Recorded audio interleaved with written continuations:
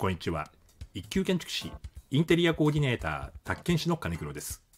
冬は電気代が高くなる傾向があります。オイルヒーターや電気ストーブやこたつなど電気を熱に変換する電化製品は多くの電気を消費するからです。そこで今回は電気代を節約しながら上手に暖房器具を使う方法やあったかく過ごしやすい物件選びのポイントを解説します。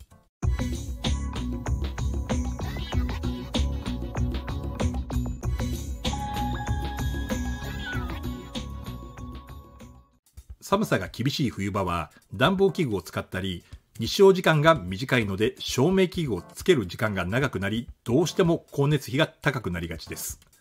またテレワークが浸透した昨今は在宅時間が長くなったことも電気代が高くなる原因の一つになっています。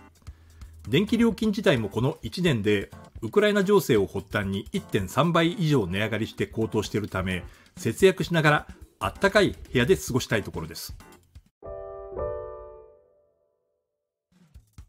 暖房器具でまず見直すのはエアコンの使い方の工夫から検討します。多くの人が冷房としてだけでなく暖房としてもエアコンを利用しています。エアコンは使っているうちにフィルターにホコリがたまりあったかい空気を外に出しにくくなるために注意が必要です。その結果消費電力も上がり電気代も高くなってしまうのでフィルターはこまめに掃除してきれいな状態に保つと光熱費も安くなります。そして暖気は冷気よりも上に行くためにエアコンなどの暖房から出るあったかい空気は部屋の上部に溜まりやすくなります。そこで足元からの冷えを防ぐためにもエアコンの風は下向きになるように設定してください。床から天井まで暖気が行き渡って部屋全体が効率よく温まるため消費電力も抑えられて節約効果が得られます。そして設定は自動運転モードにします。風量などエアコンの設定をこまめに変更すると消費電力も上がってしまいます。自動運転モードなら室内の温度に合わせた最適な風量で稼働できるため余分な電力を使わずに済みます。また短時間の外出ならば消さずに稼働させたままにします。エアコンは稼働させた直後に最も多くの電力を消費するためにこまめにつけたり消したりすると電気代も高くついてしまいます。エアコンは設定温度に上げる下げるまでが最も電気代がかかるからです。短時間の外出であればエアコンを消して部屋の温度を下げてしまうよりも部屋をあったかい状態に保ったままにするために稼働させたままの方が電気代が節約できます。ちょっとした外出時はエアコンを自動運転に設定して稼働させたままの方が節約につながることがあるためにこまめにオンオフしないようにします。そして部屋の広さがある場合はサーキュレーターも併用します。サーキュレーターを併用すればエアコンから出たあったかい空気を室内全体に循環させることができます。設定温度を低くしても部屋が温まりやすいために節約につながります。サーキュレーターはエアコンの対角線上に置いてエアコンにサーキュレーターの風が当たるようにするとより効果的です。エアコンは比較的光熱費のかかりにくい暖房器具ですが、エアコン以外に暖房器具を導入するときは、光熱費を考えて選択します。光熱費が高くなりがちな暖房器具としては、オイルヒーター、石油ファンヒーター、ガスファンヒーターなどが挙げられ、光熱費を抑えやすい暖房器具は、こたつ、ホットカーペット、セラミックヒーターなどがあります。また、10年以上前のモデルの古い家電は、最新のものより消費電力が高い傾向があります。初期投資費用はかかりますが古い暖房器具を新しいものに買い替えると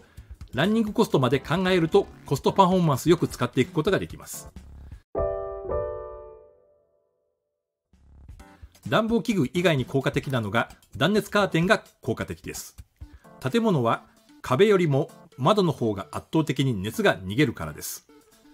カーテンを断熱カーテンにすると電気代をかけずにあったかい空気を外に逃がさない部屋作りができます。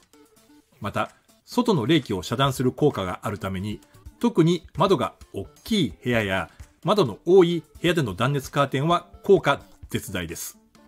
その断熱カーテンはカーテンの裾と床との間になるべく隙間が生まれない長く厚手のものを選ぶのがコツです。そして電力会社の契約内容を見直すのも電気代の節約方法の一つです。必要以上に高いアンペアで契約している場合は、アンペアが低い契約に変更することで電気代が削減できます。ただし、使用電力に対して契約アンペアが低すぎると、ブレーカーが落ちやすくなるので、アンペアには多少の余裕を持たせることも大切です。電力会社によっては、時間帯によって電気代がお得になるプランが用意されているために、電気代をたくさん使う時間帯の電気代を抑えられるプランがないかチェックしてみてください。賃貸物件の場合は物件選びで光熱費が大きく変わっていきます。断冷房を考えての物件選びは重要です。物件が気密性と断熱性に優れる建物かどうかで変わり、気密性に優れているのは鉄筋コンクリート造の集合住宅で、鉄骨造の建物や木造の物件よりもあったかく過ごしやすく、さらに上下、左右を他の住戸で囲まれている真ん中の部屋ならより断熱性が高いためおすすめです。上下左右のそれぞれのお宅で暖房しているので、コンクリート自体が蓄熱され、それほど暖房をかけなくても温まりやすくなります。1階や最上階や角の部屋は壁の外側が自然環境になっているので、外気温がそのまま熱が伝わったり、さらに風が吹くと外気温以上に冷やされます。外気に面した壁が少ない上下左右の他の人が住んでる物件の方が暖冷房が効きやすいのはそのためです。さらに断熱性に優れたガラスやサッシが使われていればより効率よく暖房で部屋を温めることができます。持ち家の場合は新築住宅で気密性が高く断熱性能の高い高気密高断熱の建物で計画すると光熱費を削減できます。すでに持ち家にお住まいで気密性や断熱性を変更できない場合は熱は窓から逃げやすいためにリフォームで内窓を採用すると窓が二重になり断熱性が上がり遮音性も上がります